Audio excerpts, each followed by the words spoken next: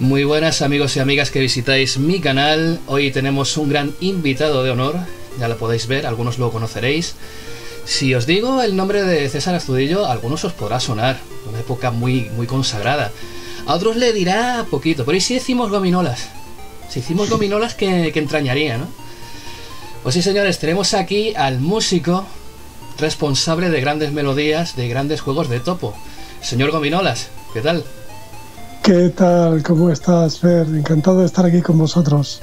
Muchas gracias por, por habernos cedido este, este tiempo que sabemos que tienes muchas cosas que hacer y para mí es un honor y te estoy eternamente agradecido por, por este detalle que acabas de tener. ¿no? Y la primera pregunta, bueno, yo creo que va a ser la más original que, que te han hecho en la vida. De, ¿Dónde nació la pasión por la música? ¿no? ¿Cómo, cómo comenzó todo? Bueno, mmm, he mamado música desde pequeño, no porque en mi familia fueran profesionales, nadie lo era, pero siempre hemos sido todos muy aficionados a la música. Mi padre mmm, empezó a tocar una rondalla a los siete años y no dejó el pulso y púa eh, hasta los 94. Eh, mi madre cantaba arriba y abajo de la casa mientras hacía sus tareas. Mis hermanos, eh, unos tocaban la guitarra, otros instrumentos andinos. Esto, ahí prácticamente todo el mundo tocaba algo. Somos, somos siete hermanos y de los siete, tres o cuatro siempre hemos estado con instrumentos y cosas así. O sea, se puede decir que la pasión viene de familia, básicamente, ¿no? Por lo que nos estás comentando sí. tranquilamente, ¿no? Lo de, lo de Topo vino muy después, ¿no? Pero antes de entrar en, en materia con, con, Topo, que es lo que a lo que podíamos resumir la entrevista de hoy, que también comentaremos un poquito más después de, de Topo, obviamente, porque has hecho más, más cositas. Eh, antes de iniciarte en Topo, ¿había algún tipo de grupo que te influenciase a, a, no sé, a programar algún tipo de sonido electrónico? ¿Algún grupo de los 70 o de los 80? Bueno, al principio... Eh en cuestión de. A mí me gustaba mucho la música de síntesis desde el principio, ¿no? Mi, mi sueño era tener un sintetizador. Luego ya, precisamente, fueron las, la, los pequeños trabajos que hacía para Topo los que me permitieron tener ingresos y empezar a, a tener mi primer sintetizador, ¿no? Y entonces, pues. Eh, por supuesto, la música de síntesis de los 70, tipo Jean-Michel Jarre, eh, y Kitaro un poquito también, yo creo. Ya, ya no recuerdo si eso fue en los 70 o en los, en los 80, y también los sonidos de síntesis que se usaban por entonces en, en rock progresivo. Los que usaba Yes o Emerson Lake and Palmer, que se escuchaban mucho por casa, eran los que marcaban un poquito la pauta. Pero muy especialmente también luego cuando empecé a escuchar a Wendy Carlos, que por entonces se llamaba Wendy Carlos, eh, Switch on Bach y eh, The Well Tempered Synthesizer, esto que, que, usaban partituras, partituras clásicas, sobre todo barrocas, eh, eso me fascinaba. Chick Corea también ah. hacía cosas con sintetizadores de flipar, muy bonitas. En, eh, en, el, en el LP My Spanish Heart hay una, una pieza que se llama El Bozo, si no recuerdo mal, uh -huh. que, que está toda hecha con sintetizador y que es increíble, de, de finales de los 70 también. Había, había mucho, mucho y muy bueno que escuchar en música de síntesis por entonces. Eh, ¿De Kraftwerk hubo algo que te llamase la atención en algún momento? ¿De los padres de, Uy, del tecno alemán? Sí, sí, sí, sí. ¿Cómo puedo haber, cómo puedo olvidar, haber olvidado citarlos? Yo tenía un sobrino que era muy melómano, que tenía una colección de discos impresionante. Uh -huh. eh, como, como dos paredes de su habitación totalmente llena de vinilos. Debía de tener ya por entonces unos 2.000 o 3.000 títulos. Y mmm, recuerdo mucho un verano en Denia eh, que él se trajo un tocadiscos portátil y varios discos de Kraftwerk y fue, bueno, flipar escucharles, ¿no? Esto, ¿Podrías decir algún, eh, algún, disco favorito de ellos? Porque yo, yo, yo, lo tengo clarísimo, vamos, con, con Kraftwerk. Pues todo lo que es Trans Europe Express, esto, Europe Endless, todos estos temas interminables, eh, los primeros sobre todo, We Are the Robots, eh, bueno, increíble. Es algo que se te queda grabado. Yo, yo, creo que tendríamos que hacer una segunda entrevista para hablar de este tipo de cosas porque coincidiríamos bastante en, en lo que son grupos y, y, gente muy, muy relevante a la hora de hablar de música electrónica o ya sea de, de rock progresivo. ¿no? Porque si nos tenemos que meter en plan síntesis, el primer sintetizador que tú hayas tenido en vida, ¿de, de qué año data, más o menos?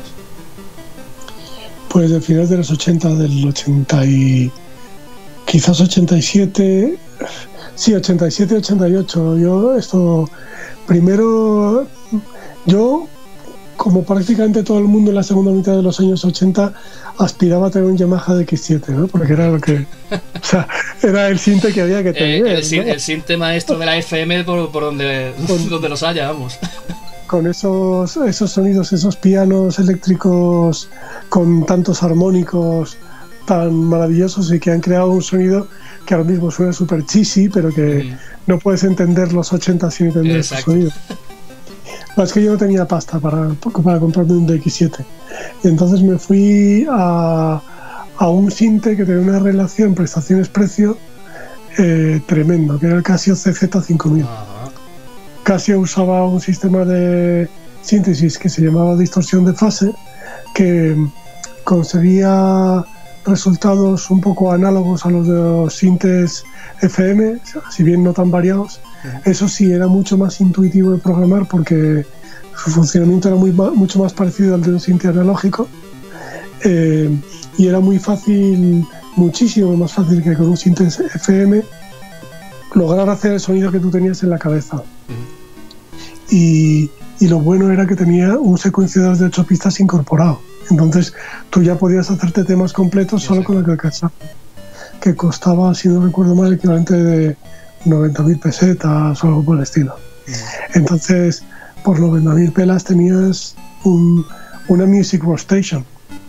Luego, más adelante, cuando, cuando empecé a tener un trabajo con sueldo, mi segundo sinte fue, sinte ese sí que fue, eh, ahí sí que me pude permitir el sinte que marcó época, el siguiente sinte que marcó época, ya estamos hablando del 89-90, que es el Core GM1, que, que es un cacharro absolutamente que por entonces era, en fin, o sea, estaba el Core GM1 y estaba todo lo demás, porque mm. no solo era un sinte relativamente asequible y que al igual que el Casio CZ5000 te permitía, tenía un secuenciador incorporado, sino que era probablemente, bueno, yo por, lo menos yo era el primer sinte que había oído que hacía sonidos imitativos decentes. Exacto. O sea, que sonaba como cosas de verdad.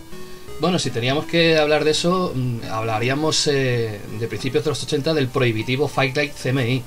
Eso ya era, eso, ya, valía un pastizal de que para que no lo sepa, eh, ya lo he comentado varias veces en mi canal, ¿no? También que es el primer sampler digital de la historia. Que le, hacía falta una computadora bastante bestia, porque en sí no, no era nada sin la computadora, ¿no? Como antiguamente. A mí cuando me contaron que, creo, recordar que me contaron que, que Michael Field tenía uno, ¿no? Exacto, sí, sí la primera vez que oí hablar de él, me decía, es que este tío graba un sonido de campana y luego lo reproduce a distintas velocidades de reproduce el sample a distintas velocidades y con eso puede hacer música y como ¡ah!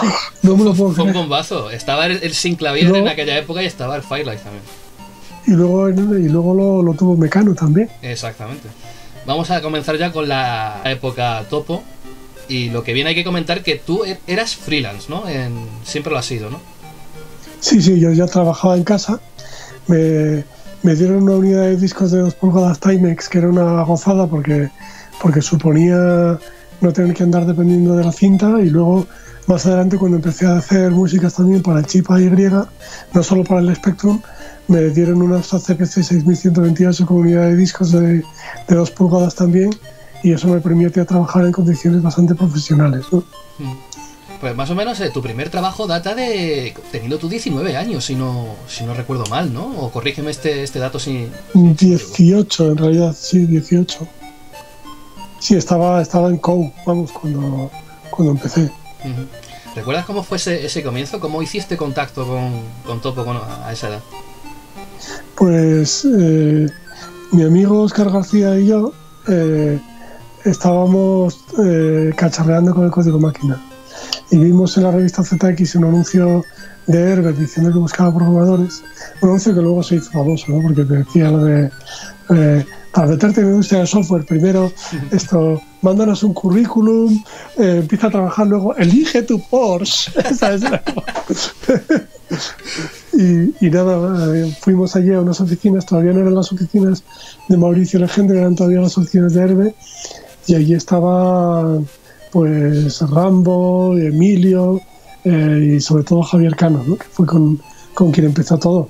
Mm. Y yo me ofrecí a hacer música, me dijeron, bueno, pues mira, hay un juego, Javier me describió un juego que era Survivor eh, y dice, te vamos a hacer una prueba, tienes que hacer una, una, música para este juego. Entonces yo hice la música del juego Survivor, a, a Javier le gustó y a partir de ahí, primero con Javier, más adelante con una relación más, más bien con, con, con Gabriel Nieto, pues... Mm pues fui haciendo las músicas hasta que, en realidad hasta que perdí el interés, porque llegó un, llegó un momento en que ya mm, antes de que comenzara el declive de las plataformas de 8 bits, yo ya estaba, tenía como la cabeza más en otras cosas relacionadas con, mi otro trabajo y tal. Y, eh, y empecé, me di cuenta yo mismo que empezaba a hacer, mm, hacer trabajos que eran un poco que ya no le ponía, ya no me lo curraba tanto como antes, ¿no? Y me, parecía hasta mal, ¿no? O sea, es la época ya un poco del Metrópolis, del Emilio Butragueña Fútbol, del, de la St. Petrovic Basket, todas estas músicas, que luego es curioso porque ahora las, las escucho y no me parecen tan malas, las que hice como sin ganas, ¿sabes lo que digo? Pero las, las, hacía como sin ganas, pero como con más libertad. ¿no? Sí, incluso hablando de, de, esta, y la Wikipedia te atribuye trabajos que no son tuyos, ¿no? según tengo. Pues tengo, tengo que revisarlo, sí, me parece que sí. Que hay ahí juegos que se me atribuyen erróneamente porque a mí no me suena que yo los hubiera hecho. Debería corregirlo, sí. Ahora que nos has dicho este, este dato curioso, lo de las melodías que hacías sin ganas, ¿hay alguna que le tengas especial tirria? ¿De todas ellas? Bueno, o, quizás desde esta época ya de, del final de, de tu trabajo un topo. Pues no, no sabría decirte. A todas, todas les acabo cogiendo cierto cariño. A todas me dan un poquitín de vergüenza, ¿no? Porque cuando las oigo, lo que oigo son mis limitaciones, ¿no? O sea que esto, como diciendo, joder, es que esto, es lo mejor que puedes hacer. Qué capullo, ¿no? Yo no he mejorado gran cosa desde entonces, pero todas tenían algo. Eh, hombre, lo que. De las épocas en las que me lo curraba menos, lo que sí que me da un poco de vergüencilla es que Mm, creaba una, tres frases, la frase A, la frase B y la frase C, y luego construía melodías en plan A, B, A, C, A, B, A, C, pero subía una octava. Ahora A, B, A, C, pero bajado una octava. Entonces era como, a ver cómo saco yo aquí. O sea, en realidad creaba, yo que sé, 15 segundos de, de, de, trabajo y luego a partir de eso sacaba 60 segundos de música. ¿no? es que, joder. Así como si tenemos que hacer una arpegiada directamente, ¿no? Le metemos el arpegio ahí a eso y ya, lo tenemos todo de, corrido, ¿no? Eh, ¿Cuál es el trabajo que mejor consideres tú? El que más, eh, no sé, el que le, tengas especial cariño por una cosa o por otra, el que consideras mejor por, un montón de historias. Hay dos para mí. Eh, Silent Shadow y Whopper Chase. La Silent Shadow es, ahí llegué a mi límite. O porque hacía una modulación que es, no sé, para los oyentes, eh, pues es cambiar de tonalidad, es, eh, y, es algo que yo nunca he sabido hacer, eh, pero la necesitaba en esa melodía. También utilizo un, así que lo hice lo menos mal que, supe, y también utilizo un compás de amalgama, que es un ritmo con, con dos partes ternarias y una binaria, que suena ta ta ta ta ta ta ta ta ta ta ta ta ta ta ta que, que me gustó mucho cómo me quedó, ¿no? Que la verdad es que estoy muy orgulloso del airecito casi como de banda sonora cinematográfica que logré darle, ¿no? Y luego hubo Chase porque, porque mm, también me representó cierto desafío a la hora de, de, de componerlo y porque conseguí plasmar lo que yo tenía en la cabeza, ¿no? que era una melodía un poco, un poco wacky, un poco como graciosa, pero que luego pasara a modo menor a una melodía un poco más de acción y tal, y que, que le diera un carácter determinado, ¿no? Y, son dos ocasiones en las que dije, me, me puse el listón alto y conseguí llegar, ¿no? Me hizo sentirme muy orgulloso. Has nombrado cosas referentes a la época de, tu trabajo, pero la, estación completa de, vamos, digamos, las máquinas en ese momento con las que contabas en casa, ¿cuáles eran? Em, pues simplemente los, los, ordenadores destino, no tenía otra cosa, porque yo tenía mis sintes, pero no los usaba, a veces los usaba para improvisar un poquito, tocar y tal, pero cuando se trataba de hacer esas músicas, yo eh, el trabajo era 90% o el 90% de las ocasiones. Con, recuerdo que en WordPress la secuencié primero en el C5000.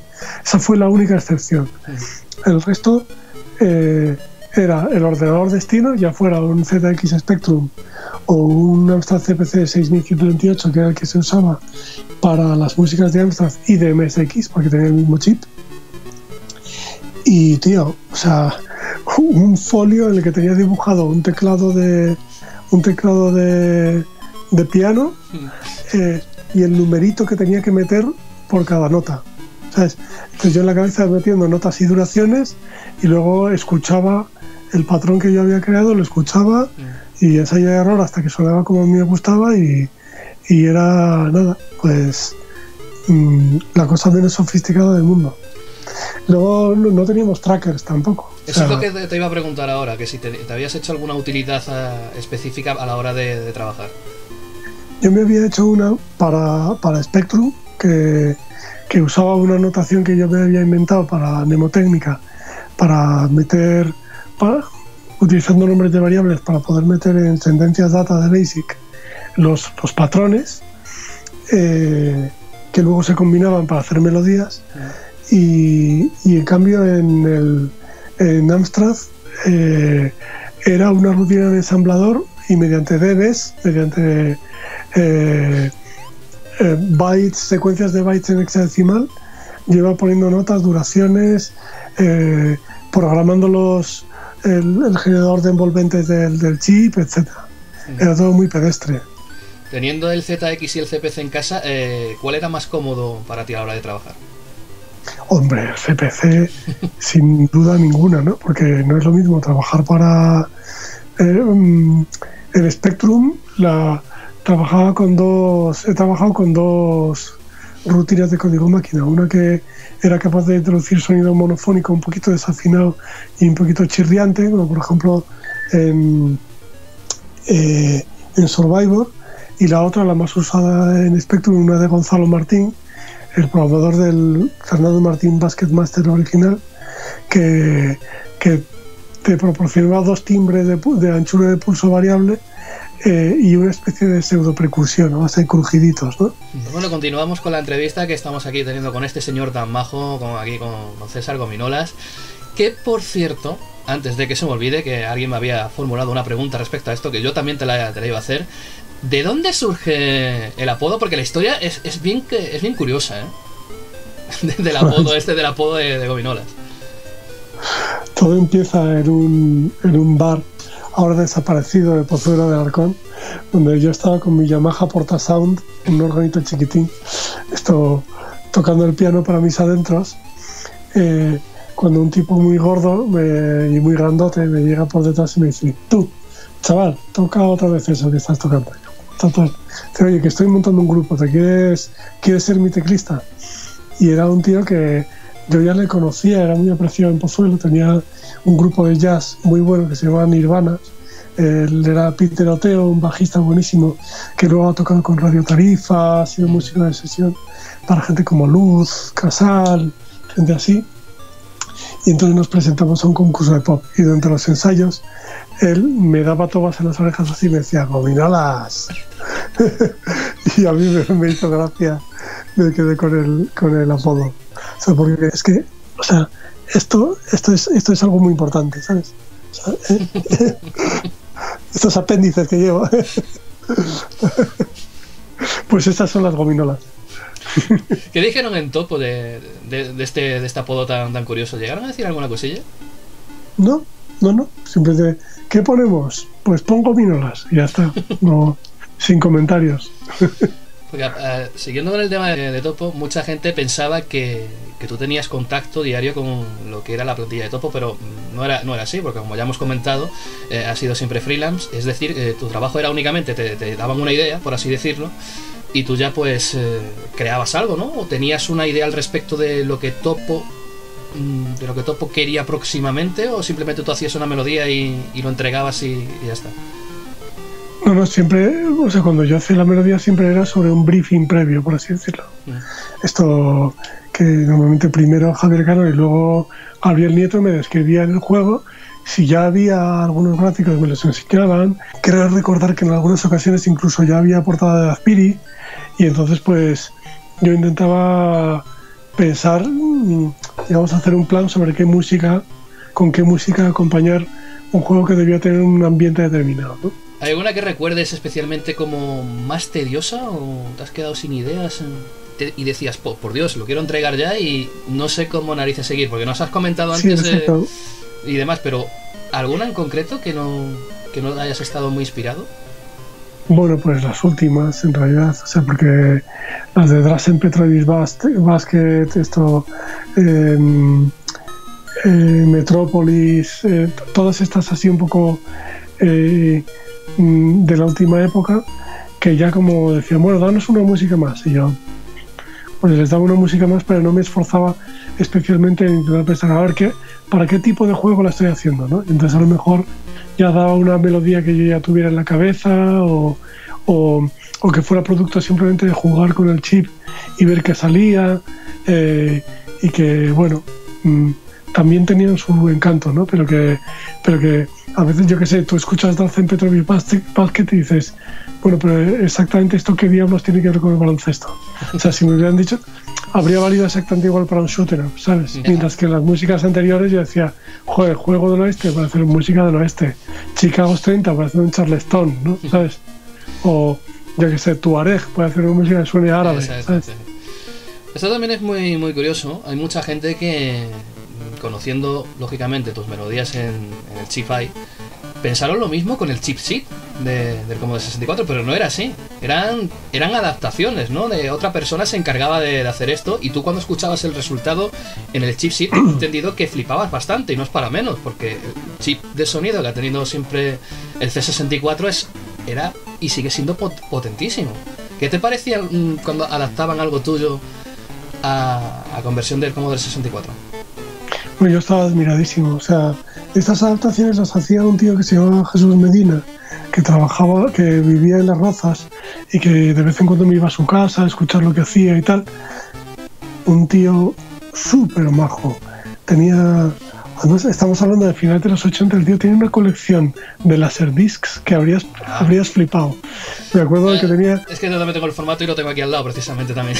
tenía varios, varios, varios Laserdiscs de los Eurythmics y tal. Hombre. Eh, y, eh, y, un tío súper peculiar. Y es que tenía muchísimo mérito lo que hacía, porque eh, yo no recuerdo si él mismo se encargaba de adaptar los gráficos a la, a la paleta del Commodore 64, pero claro, es que estamos hablando de una conversión basada del Z80 pasarla a una conversión basada del 6502. O sea, estás escribiendo para un microprocesador distinto, no es como convertir de Spectrum a MSX, que reutiliza rutinas enteras, ¿no? Entonces el tío era un programador de tomo y lomo, pero luego es que encima cogía mis músicas y, y claro, eh, como el SID tiene capacidades muy superiores, tienes tú que imaginarte, bueno, pues a ver qué uso aquí, uso una onda de diente de sierra, uso una onda triangular, qué filtros le meto, ¿sabes? Y el tío, joder, se lo curraba muchísimo, hacía, mejoraba mi música. Vamos, podríamos decir que era el Lloró en TED en español, tranquilamente, ¿no? El compositor de Ocean, ¿no? pues... Pero yo escuché muchas adaptaciones tuyas como de 64 y era, y era una auténtica virguería. Es más, yo cuando era más, mucho más joven que ahora, llegué a pensar que tú también estabas detrás de, de aquello. Pero según tengo entendido también, tú to tocaste poquito lo que era lo que era la parte del Commodore 64 en, en lo que a sonido se refiere, ¿no? Sí, sí, nada, nada. O sea, ahí Jesús Medina tiene todo el mérito. Merecería salir como coautor de las músicas. Tus melodías son muy conocidas y incluso a gente le gustaban mucho más los juegos de topo, ciertos, ciertos títulos, ¿no? Y lo, y lo recuerdan por eso, ¿no? Por, por, tus melodías, incluso algunos, yo me incluyo, la seguimos tarareando a día de hoy, pero hay uno en concreto, uno ahí que nos duele a mucha gente, que ya sé que ya estaba tú previamente antes, pero ya, ya puedes saber por dónde van los tiros. Un juego que a mis seguidores también les trae malos recuerdos, ¿no? Sobre todo porque la micro hobby nos dijo que el juego era buenísimo, buenísimo, buenísimo, y lo único que había buenísimo era la melodía de este señor. Me estoy refiriendo naturalmente, me estoy naturalmente refiriendo al Score 3020. Manido Score 3020 de las narices. O sea, lo gracioso es que la peña, yo también lo pensé, se creía que tú viste el juego, pero tú no lo viste hasta años después, ¿no? De que no, no te dieron. No te, no te solían dar copias físicas de los juegos, no lo, averiguaste con el paso del tiempo. A lo mejor más adelante, cuando yo ya había entregado una música y un juego ya estaba terminado, cuando iba a entregar la siguiente o, yo qué sé, o dos músicas después, pues me enseñaban un poco cómo había quedado un juego anterior, ¿no? Pero el Score 30 yo no lo recuerdo, no, recuerdo ver, o sea, recuerdo haber hecho la música para él, pero ni siquiera haberme enterado de si era un juego de pinball o de qué era, ¿no? Luego, más tarde, eh, he visto que, de hecho, hay una cosa que me molesta particularmente el Score 3020 y es que había una rutina, por lo menos en Amstrad, que durante el menú que, hacía rebotar unas, unas letras ah. y que eso interfería con la velocidad de reproducción, con lo cual incluso la música salía como con el tempo totalmente trastocado, ¿no? Como si, como si, como si una persona lo estuviera dando una manivela eh, a la pianola y estuviera como... Mm, mm. Ni siquiera había fluctuaciones de tempo que eran muy irritantes, ¿no? y eso que la música me, había, me moló como me había quedado, el reggae, ¿no? Hmm. Yo creo que, que, tuvieron prisas, ¿no? Con la producción de, este videojuego, ¿no? ¿no? se te comentó algo referente a, ello? No, no, te sé decir detalles, tío, porque, ya era de, un poco una época más, más, más tardía y, yo mismo tampoco les dedicaba mucho tiempo a las músicas por entonces. Hmm. Vamos, ya, ya te lo digo yo, que lo mejor que tiene Gráficamente está muy bien, pero si se hubiera conceptuado de otra manera, pues eh, sería un pelotazo. la micro hobby nos dijo, Hobby Press, mejor dicho, cinco estrellas, bla, bla, bla, y lo único de cinco estrellas que tenía era la música de este señor. O sea, yo lo, digo, lo digo claramente porque es que ese juego es. Eh, yo lo tengo en mi canal, hay un vídeo en mi canal que las paso canutas, como bien sabéis, pero es que no pierdes más. Pierdes vidas donde menos te lo vas a esperar. Es que es imposible de jugar Score 3020. O sea, gráficamente está muy bien, pero no, no, se hizo lo que se tuvo que hacer con ese juego. Yo creo que fueron las mil pesetas peor gastadas de mi vida. Tranquilamente. Pero claro, veías eh, la única referencia que teníamos por aquel entonces era, era Micro Hobby y te entraban esas capturas, ¿no? No tenías nada más, no tenías ningún punto de referencia más. Si algún algún amigo que se hubiera comprado el juego y te hubiese comentado por encima, pues oye, pues merece la, pena o esto es una chufa directamente. Había gente como, como yo que también se flipaban bastante con, con lo que era las melodías de algunos juegos, que a lo mejor no te entraban, pero sí sonoramente, ¿no? ¿Tú recuerdas algún juego que no sea evidentemente tuyo, de, otra compañía, que te haya marcado la melodía de, alguna forma? Mm, hay un juego de... Joder, mismo no recuerdo la compañía, pero Star Quake, que era un juego que me gustaba mucho, con gráficos estilo Ultimate y una jugabilidad, una jugabilidad buenísima y movimientos de sprites muy fluidos también me gustaba mucho la música, pero yo creo que, ¿cómo diría yo? Mm, yo creo que no era tanto que a uno le gustara mucho la música del juego, como que si te gusta el juego te va a gustar la música, porque entonces la, vas a escucharla tantas veces que buena o mala se te va a quedar grabada, ¿no? Eh, y, eso era lo que me pasaba en ese caso. ¿Tú crees que si la música de un juego en concreto es mala, puede arruinar totalmente la experiencia jugable? No, no lo creo, no creo. Yo creo que esto, mm, sobre todo ahora, además estamos hablando de, de, de, mm, de, una época distinta, ¿no? Porque, por ejemplo, los juegos a los que yo ponía música, la jugabilidad y la música no estaban tan entrelazadas, porque la música sonaba sobre todo durante el menú y ya está. O sea, anticipaba un poquito, podía llegar a, a tener cierto poder evocador, pero luego durante el juego tú no oías la música.